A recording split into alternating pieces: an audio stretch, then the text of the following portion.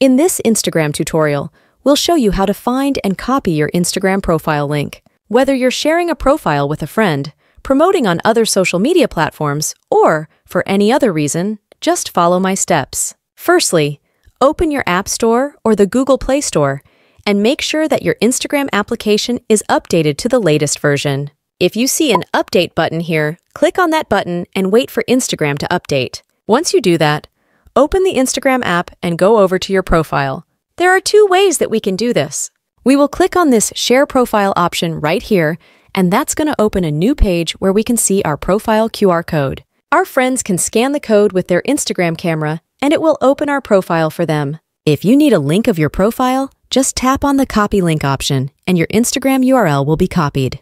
Now, when you enter the link in the web browser or send it to a friend and they click on it, it will open your Instagram profile in the browser or in the application.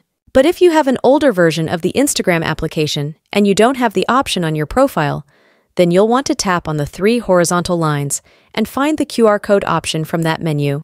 And that's going to open the same exact page. But that's essentially how you can easily copy your Instagram profile link. Thanks for watching, and I will see you soon.